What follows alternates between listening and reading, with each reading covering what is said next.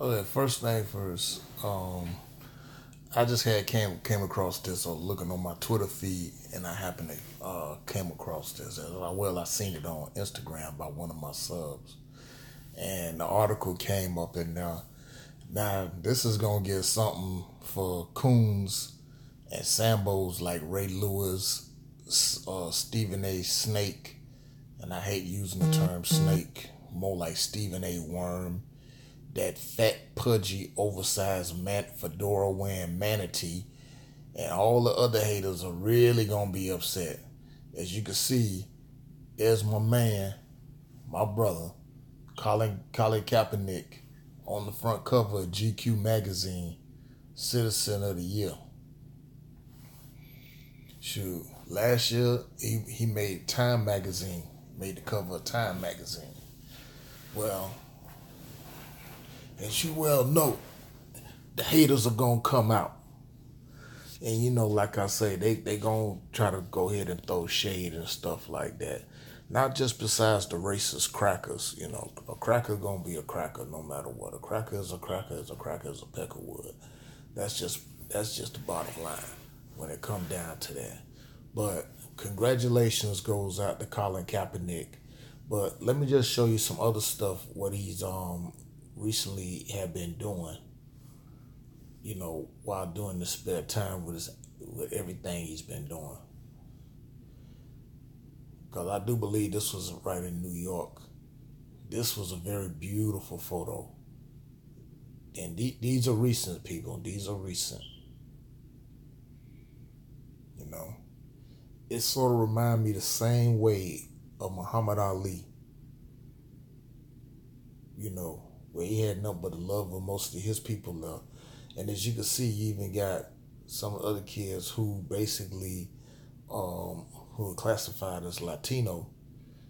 So like they were classified as Hispanic, but that's a good thing too because shit, that's they got they got the African blood in them too as well. So you know, despite some of them that want to try to pass as being Caucasian, if you listening up, Ana Navarro, dumb bitch. But this is about Kaepernick, you know. Despite all of what's going on in the world with, with the orangutan, with Hobgoblin 45 and all this other stuff, like I say, uh, me and my brother Blue Pill has said, man, Cap got that got that Christ energy, man. You know, Scorpio, wear number seven. Shoot he's looking more and more like a Moor. Real talk. Here's another one.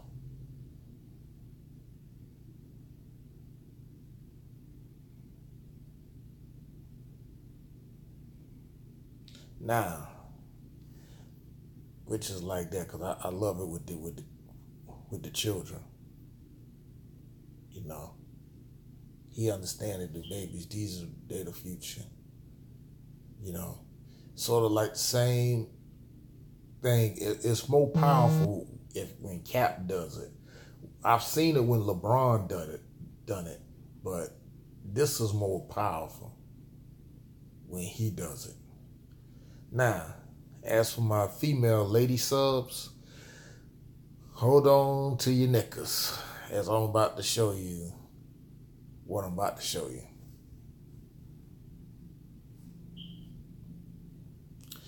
Now you can go ahead, you can take a screenshot of this if you like, ladies, and to all the naysayers, all the idiots that's in the NFL that, oh well, well, he is his diet. Uh, he ain't a he's a vegan. He ain't strong enough.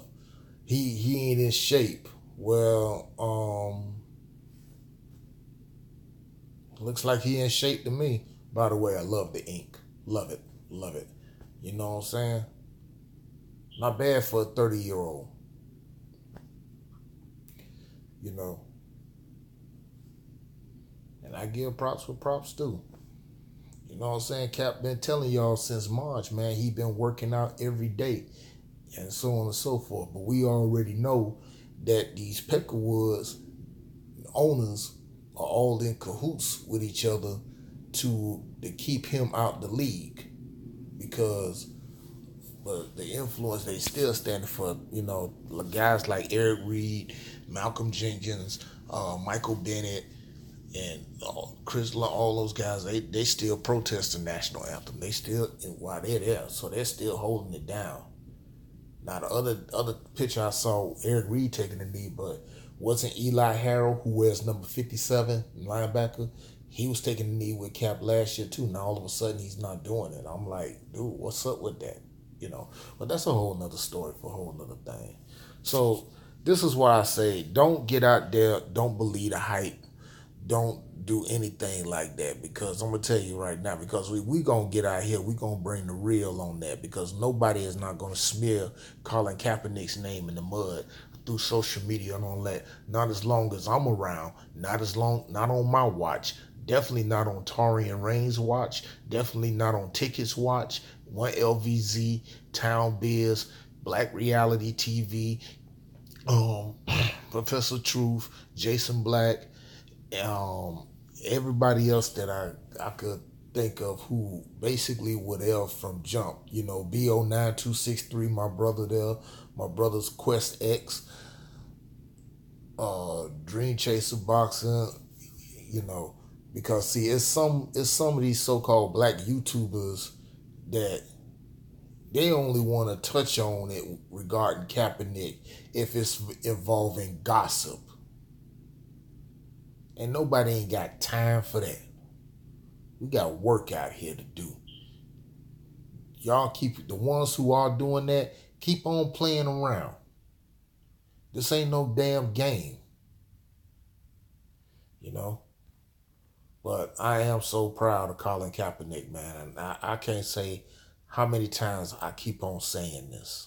I'm so proud of him. Sure.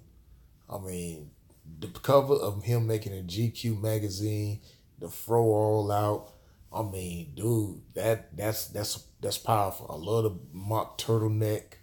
Um, I, I like it. I love it. I mean, like, shoot, look at the icy stare. You know, the piercing stare. Definitely a Scorpio. Definitely. So yeah, I just wanted to go ahead and run this run this through and all that. You know, um, let me know what y'all think about it in the comment section. You know, you go ahead, share, subscribe, um, click the notification bell so when I upload new videos, you get it. And also, uh, you can also donate to my PayPal account. Your donations are greatly appreciated as I continue to go ahead and bring you new videos on new things to basically um, keep you keep you woke and have you use critical thinking and also reinstitute common sense, unfortunately, which is not common these days. So, with that said, uh, peace and love, love, truth, peace, freedom, and justice. I'll see y'all on the next rebound. No more talk. I'm done.